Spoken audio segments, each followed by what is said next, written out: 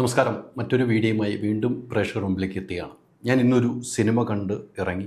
ഈ സിനിമയായി ബന്ധപ്പെട്ട് ഇതിന്റെ ട്രെയിലർ വന്നപ്പോൾ തന്നെ ഞാനൊരു വീഡിയോ ചെയ്തിരുന്നു. അത് ലക്ഷക്കണക്കിന് ആളുകൾ ഏറ്റെടുത്ത ഒരു വീഡിയോ ആണ്. ഒരു സാധാരണ കുടുംബത്തിൽ ഒരു പെൺകുട്ടിയുടെ മരണം സംഭവിച്ചാൽ അല്ലെങ്കിൽ ഒരു പെൺകുട്ടിയെ കാണാതായാൽ ഇതിന്റെ അന്വേഷണം എവിടെ എത്തി നിൽക്കുന്നു എന്നൊരു ചോദ്യം ബാക്കി നിൽക്കുകയാണ്. അത്തരമൊരു സിനിമയുടെ അന്വേഷണവുമായി ബന്ധപ്പെട്ടുള്ള കഥയാണ് ആനന്ദ് ശ്രീബാല എന്ന സിനിമ. ഒറ്റവാക്കിൽ പറഞ്ഞാൽ ഒരു സാധാരണക്കാരന് എന്ത് ചെയ്യാൻ കഴിയും എന്ന എന്നതിന്റെ ഉത്തരമാണ് ആനന്ദ് ശ്രീബാല എന്ന സിനിമ. അത് കൃത്യമായി തന്നെ ഡയറക്ഷന്റെ മികവ് തെളിയിച്ച വിഷ്ണു വിനയൻ സ്ക്രിപ്റ്റ് എഴുതിയ അഭിലാഷ് പിള്ള അതോടൊപ്പം തന്നെ മ്യൂസിക് എടുത്തു പറയേണ്ട ഒന്ന് തന്നെയാണ്. ഇതെല്ലാം കൂട്ടി വായിക്കുമ്പോൾ ഈ സിനിമ മികച്ചത് തന്നെയാണ്. ഒരു ഫാമിലി കാണേണ്ട സിനിമ തന്നെയാണ്. കാരണം എത്ര പേർക്ക് ഇവിടെ നീതി ലഭിക്കുന്നുണ്ട്. സാധാരണ കുടുംബത്തിലുള്ളവർക്ക് എത്ര പേർക്ക് നീതി ലഭിക്കുന്നു?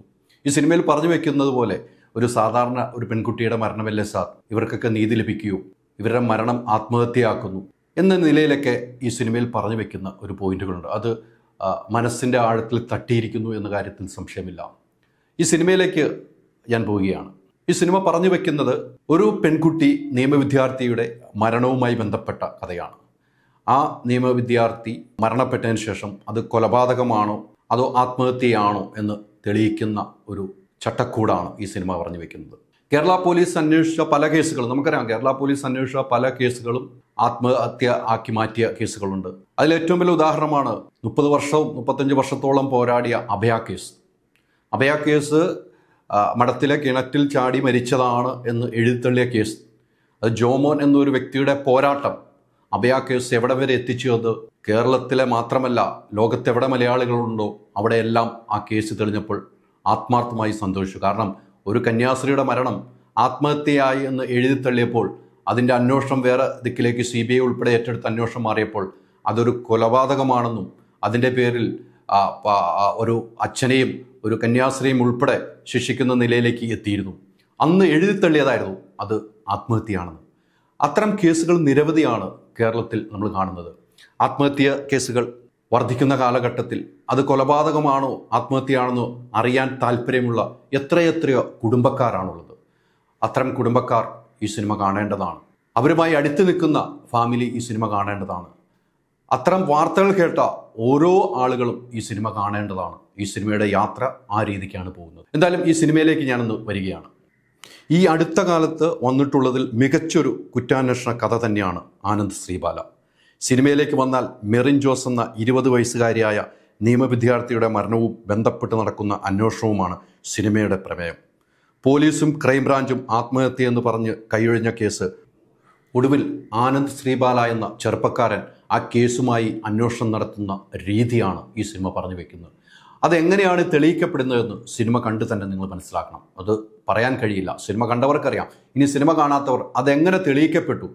അത് ആത്മഹത്യ തന്നെയാണോ? കൊലപാതകമാണോ എന്ന് കൃത്യമായി ഈ സിനിമയിൽ പറഞ്ഞു വെക്കുന്നു. അതാണ് ഈ സിനിമയുടെ പ്രമേയം. അഭിനയിച്ചവരുടെ പ്രകടനം എടുത്തു പറയേണ്ടതാണ്. പ്രത്യേകിച്ച് അർജുൻ അശോകന്റെയും അപർണ ദാസും സൈജു കുറുപ്പും സിദ്ദീഖും. ഇവരെല്ലാം മികച്ച കഥാപാത്രം അഭിനയിച്ചിരിക്കുന്നു.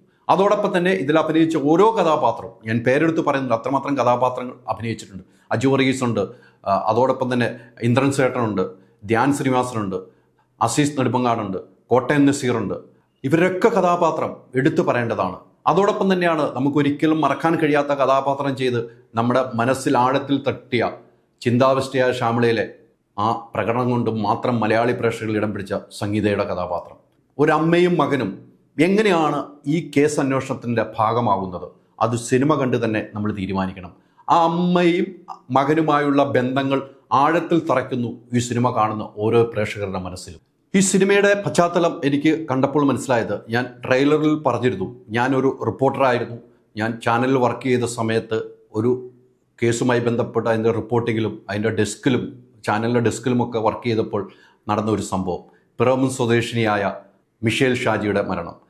മിഷേൽ ഷാജിയുടെ മരണവുമായി ബന്ധപ്പെട്ട അന്ന് വലിയ വിവാദങ്ങൾ ഉടലെടുത്ത ഒരു സംഭവമായിരുന്നു. ആ മിഷേൽ ഷാജിയുടെ സി സി ടി വി ദൃശ്യങ്ങൾ ഉൾപ്പെടെ ഞാൻ ഉൾപ്പെടെയുള്ള മാധ്യമങ്ങൾ ശേഖരിച്ചു. ആദ്യം ഇടപ്പള്ളിയിലെ പള്ളിയിൽ വരുന്നു. അവിടുന്ന് മെഴുകുതിരി കത്തിച്ചിട്ട് പോകുന്ന ദൃശ്യങ്ങൾ വന്നു. പിന്നീട് ആ കുട്ടിയെ കാണുന്ന ഗ്രോസറി പാലത്തിന്റെ മുകളിലെത്തിയത് വരെ കാണുന്നു. ഇതൊക്കെ ഈ സിനിമയിൽ പറഞ്ഞു വെക്കുന്നു. അന്ന് ആ മാതാപിതാക്കൾ പറഞ്ഞ രണ്ട് വാക്കുകളാണ്. എന്റെ മകൾ ആത്മഹത്യ ചെയ്യില്ല. അതിനുശേഷം ഇവർ ഈ കേസുമായി മുന്നോട്ട് പോയി കോടതിയെ സമീപിച്ചു ക്രൈംബ്രാഞ്ചിലേക്ക് വിടണമെന്ന് പറഞ്ഞു ക്രൈംബ്രാഞ്ച് അന്വേഷണം നടത്തി. പിന്നീട് അവിടെയും നടക്കുന്നില്ല സി ബി ഐ വേണമെന്ന് ആവശ്യപ്പെട്ടു. എന്നാൽ സി ബി ഐയുടെ ആവശ്യമില്ല എന്ന് കോടതി കണ്ടെത്തുകയും പിന്നീട് വീണ്ടും ഈ ക്രൈംബ്രാഞ്ച് അന്വേഷണത്തിലേക്ക് തന്നെ പോയിക്കൊണ്ടിരിക്കുന്ന സമയത്താണ് ഇത്തരമൊരു സിനിമ ഇറങ്ങുന്നത്.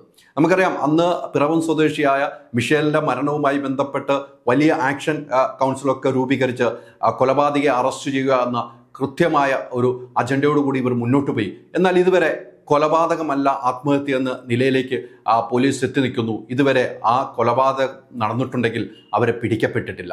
ഇതെല്ലാം ഈ സിനിമയിൽ നമ്മൾ കണ്ട് മനസ്സിലാക്കുന്നു. ഒരു സാധാരണ പേരൻസ് ആ പോലീസ് സ്റ്റേഷനിൽ ചെന്ന് എന്റെ മോളെ കാണാനില്ല എന്ന് പറയുമ്പോൾ ആ പോലീസ് സ്റ്റേഷനിൽ ഉണ്ടാകുന്ന അനാസ്ഥ നമ്മൾ കാണുന്നുണ്ട്. ഇത്തരം പോലീസും ഉണ്ട് എന്ന് ഈ സിനിമ പറഞ്ഞു വെക്കുന്നു. എന്നാൽ വലിയ രീതിയിൽ സ്നേഹത്തോടു കൂടി പെരുമാറിയ പോലീസ് ഉദ്യോഗസ്ഥൻ പിന്നീട് അദ്ദേഹത്തിന് സംഭവിക്കുന്ന എന്താണെന്നും ഈ സിനിമ പറഞ്ഞു വെക്കുന്നു. കേരള പോലീസിനെ സംബന്ധിച്ചിടത്തോളം അറിയാം നല്ല മിടുക്കനായ പോലീസ് ഉദ്യോഗസ്ഥരുണ്ട്. ആ മിടുക്കരായ പോലീസ് ഉദ്യോഗസ്ഥർക്ക് പല സമയത്തിലും മേലുദ്യോഗസ്ഥരുള്ളപ്പോൾ പല കാര്യങ്ങളും അന്വേഷണത്തിൽ നിന്നും മറച്ചു വെക്കേണ്ട നിലയിലേക്ക് എത്തിയ സാഹചര്യം ഇവിടെ ഉണ്ടായിട്ടുണ്ട് എന്ന കാര്യത്തിൽ സംശയമില്ല.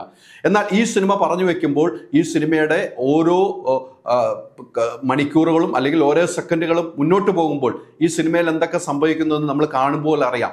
ഇത്തരം സംഭവങ്ങൾ ഈ കേരളത്തിൽ നടക്കുന്നുണ്ടോ എന്നൊരു സംശയമുണ്ട്. ഇത് കേരളത്തിൽ ചർച്ച ചെയ്യപ്പെടും. പോലീസ് വകുപ്പിൽ തന്നെ ഇത് ചർച്ച ചെയ്യപ്പെടുന്ന ഒരു സിനിമയായി മാറിയിട്ടുണ്ട്. അതോടൊപ്പം തന്നെ ഈ കുട്ടിയെ മരണപ്പെട്ട് കൊലപാതകമാണെന്ന് തെളിയിക്കാൻ ഇവർ നടത്തുന്ന ഒരു യാത്ര. വലിയ യാത്രയായിട്ട് തന്നെ ചിത്രീകരിച്ചിട്ടുണ്ട്. എന്തായാലും അർജുൻ അശോകനെ സംബന്ധിച്ചിടത്തോളം കരിയറിലെ ഏറ്റവും നല്ല ഒരു ബെസ്റ്റ് സിനിമയെന്ന് വീണ്ടും അക്കമിട്ട് പറയാൻ എനിക്ക് സാധിക്കും. എന്തായാലും ഈ സിനിമ കാണേണ്ട സിനിമയാണ്. ഈ ഈ സിനിമ കണ്ടു കഴിയുമ്പോൾ ഇത്തരം നീതി നിഷേധിക്കപ്പെട്ട എത്രമാത്രം കുടുംബങ്ങൾ ഉണ്ട് എന്ന് നമ്മൾ കാണേണ്ടതാണ്. ഇപ്പൊ നമുക്കറിയാം അടുത്ത അടുത്തുണ്ടായ സംഭവം കണ്ണൂർ എ ഡി എമ്മിന്റെ മരണവുമായി ബന്ധപ്പെട്ട് ആ Kannur A D A D M ആത്മഹത്യ ചെയ്ത സംഭവം അതിൽ പ്രതി എന്ന് പറയപ്പെടുന്നത് പ്രതി എന്ന് പറയപ്പെടുന്നത് ജില്ലാ പഞ്ചായത്ത് പ്രസിഡന്റ് എന്നാണ്. പ്രേരണാ കുറ്റത്തിന് വരെ കോടതി ശിക്ഷിക്കുകയും ജയിൽവാസം അനുഭവിക്കുകയും ചെയ്തു. എന്നാൽ അപ്പോഴും ഇതിന്റെ സത്യങ്ങൾ പുറത്തു വരാൻ ഇരിക്കുന്നതുള്ളൂ അന്വേഷണം പല ദിക്കിലേക്കാണ് പോകുന്നത്. ഏറ്റവും ഉദാഹരണമായി എടുത്തു പറയേണ്ട ഏറ്റവും ഉദാഹരണമായി എടുത്തു പറയേണ്ട കേസായിരുന്നു അഭയ കേസ് എന്ന കാര്യത്തിൽ സംശയമില്ല. എന്തായാലും കേരള പോലീസ് കുറച്ചുകൂടി ജാഗ്രതയോടുകൂടി കേസുകൾ കൈകാര്യം ചെയ്യണമെന്ന് ഈ സിനിമ പറഞ്ഞു വെക്കുന്നുണ്ട്. ഈ സിനിമ കാണുമ്പോൾ കേരള പോലീസിലുള്ളവർക്ക് അത് കൃത്യമായി മനസ്സിലാകും അതിന്റെ മേലുദ്യോഗസ്ഥർക്ക് മനസ്സിലാകും. എന്തായാലും ഈ സിനിമ ചർച്ചയായ ചർച്ച ചെയ്യപ്പെടും. അതോടൊപ്പം തന്നെ ഈ സിനിമ വിവാദത്തിലേക്ക് വഴിവെക്കുമോ എന്ന് കാത്തിരുന്ന് നമുക്ക് കാണാം.